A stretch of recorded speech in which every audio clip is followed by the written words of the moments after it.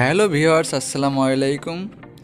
প্রতিবারের মতো সাথেই আছে আমি জিক্রুল, দেখছেন ইলেকট্রিক টেক। তা বন্ধুরা, আমার সামনে জ্যাক প্লেন মেশিন, দেখতে পারতেছেন? নিডেল বার আপ করবেন কীভাবে এবং কি ডাউন করবেন কীভাবে এবং কি রিসেট কীভাবে দিবেন, আমি এই ভিডিওতে দেখিয়েছি। তো বন্ধুরা, নিডেল বার আপ করলে কি সুবিধা হয় আর ডাউন করলে কি সুবিধা হয়? কিছু কিছু প্রসেসিং আছে যে এই নিডেল বার আপ করে কাজ করতে হয়, আবার কিছু কিছু প্রসেসিং আছে নিডেল বার ডাউন করে কাজ করতে হয়। তা না হলে আপনার এই কাজটি করা প্রবলেম হয়। তো বন্ধুরা, এই যে এখন কিন্তু নিডেল বার ডাউন আছে। দেখতে পারতেছেন, আমি যখনই মেশিনটি চালাচ্ছি, তখন ডাউন হয়ে যাচ্ছে। এখন আপনি যদি আপ করতে চান, তাহলে এই যে এই বাটনটিকে প্রেস করতে হবে। এই যে এখানে নিডেল বার চিহ্নই দেয়া আছে। এই এখানে একটা চাপ দিলে যে এখানে সিলেক্ট হয়ে গেলে এক পাশে চলে গেলে এখন আপনার নিডেল বারটি আপ হয়ে যাবে। এই যে বন্ধুরা, চালানোর সময় এই যে আপ আপ হয়ে যাচ্ছে। এরপর আবার যদি ডাউন করতে চান, এই বাটনটিকেই প্রেস করতে হবে। তা বন্ধুরা, আমি আরেকবার এই বাটনটিকে প্রেস করব।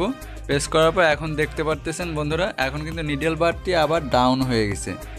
তো বন্ধুরা, এইভাবে এই জ্যাক প্লেন ম্যাশিংয়ের নিডেল বার আপ এবং ডাউন করতে হয় এ থ্রি মডেলের আমি আবার আপ করে দেখাচ্ছি।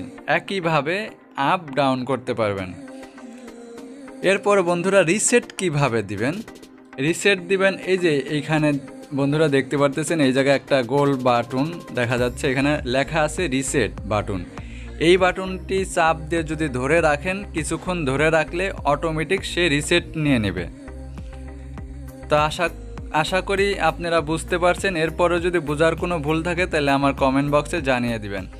আর বন্ধুরা, ভিডিওটি ভালো লাগলে একটা লাইক দিবেন, আর ভালো না লাগলে আনলাইক দিবেন।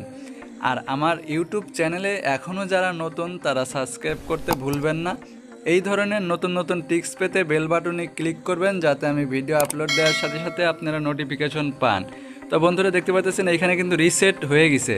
রিসেট হয়ে যাওয়ার কারণে আপনার এখানে ব্যাগ স্টিক তিনটে তিনটে করে হয়ে গেছে। তারপরে এখানে একটা আপনার টেনশন পুশ সুইচটি অন হয়ে গেছে। তো বন্ধুরা রিসেট দেওয়ার পরে আপনার নতুন অবস্থায় যে প্রোগ্রামগুলো অন করা থাকে, সেইগুলো অন হয়ে যায়। তা বন্ধুরা ভালো থাকবেন। আজকের মতো এখানেই বিদায় নিচ্ছি। আল্লাহ হাফেজ।